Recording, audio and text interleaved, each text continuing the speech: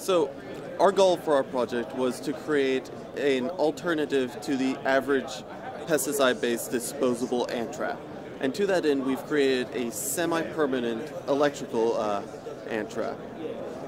So essentially, it steps up voltage using this PCB here. We've got a high voltage PCB on top, and it steps voltage up to around 1300 volts. And then we then send that to the bottom board whenever we've sensed that enough ants have gone into the device to kill as many as possible, just so we um, limit the power efficiency of it to as good as we can.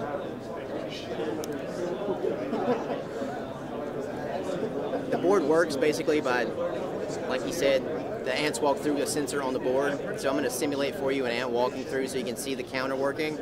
So this the LEDs count up to 16, and then when it gets up to 16, this red light will come on, which is indicating that the high voltage circuit is activated, and then that's when the ants will be electrocuted. So right now, you can see the LEDs lighting up.